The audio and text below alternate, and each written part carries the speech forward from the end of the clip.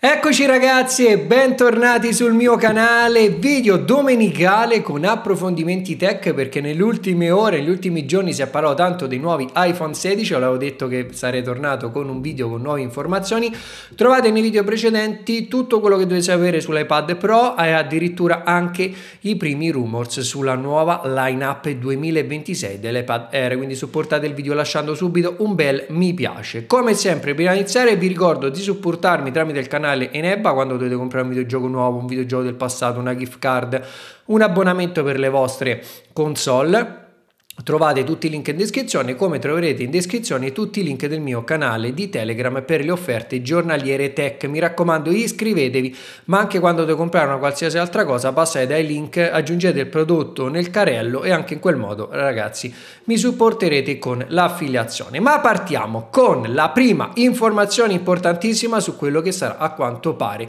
il nuovo iPhone 16. Ne ha parlato niente che po' di meno l'analista Ming CQO che appunto nella sua ultima indagine di approvvigionamento appunto sul mondo, del mondo Apple ha parlato della questione iPhone 16, iPhone 16 Pro Max che a quanto pare dovrebbe avere una batteria con una maggiore durata e probabilmente stessa grandezza con maggiore durata o addirittura più piccola con la sua stessa eh, durata, quindi veramente molto importante questa cosa. La mia ultima indagine ha dichiarato proprio l'analista sulla catena di approvvigionamento, sottolinea che la densità energetica del nucleo della batteria di iPhone 16 Pro Max sarà aumentata. Il vantaggio è che ha una maggiore resistenza sotto lo stesso volume della batteria oppure ridurre il volume della batteria con la stessa durata. Migliorare la densità energetica della cella della batteria aumenterà la temperatura di batteria durante il funzionamento. Per evitare il surriscaldamento della batteria, Apple adotterà per la prima volta una custodia della batteria in acciaio inossidabile come schema di dissipazione del calore. Sebbene l'effetto di dissipazione del calore dell'acciaio inossidabile non sia buono come quello dell'alluminio, è relativamente forte e non facile da corrodere.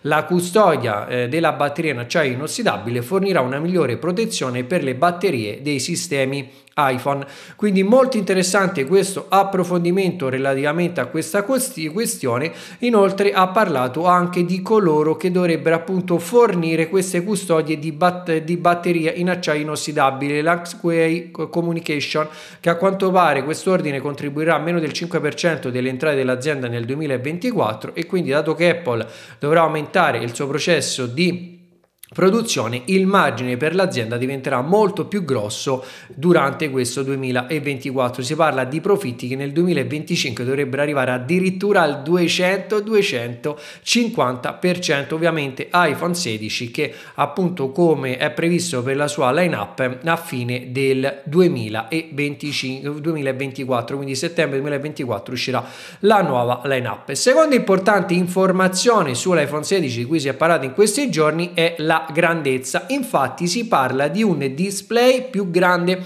Ne ha parlato Zone of Tech dicendo che il display dell'iPhone 16 Pro Max aumenterà da 6,7 a 6,9 e l'iPhone 16 diciamo più piccolino dai 6,1 ai 6,3 3. Ovviamente si è messa a paragone questo presunto iPhone 16 Pro Max con appunto dei modelli test che vengono utilizzati per determinate analisi e quant'altro. Ovviamente non sono immagini ancora ufficiali, ma sono dei modelli prodotti proprio in merito a queste informazioni per uh, analisi e eh, molte volte anche per eh, studi di mercato. E questo, ragazzi, è proprio quello che dovrebbe essere la resa tra i due modelli. A sinistra il 16 Pro Max, a destra l'iPhone 15 Pro Max. Come potete vedere quello 0,2 inciderà molto. Si parla negli ultimi giorni addirittura del fatto che Apple starebbe anche lavorando sulla questione delle cornici, quindi anche se aumenteremo la, eh, la, del, proprio la grandezza del display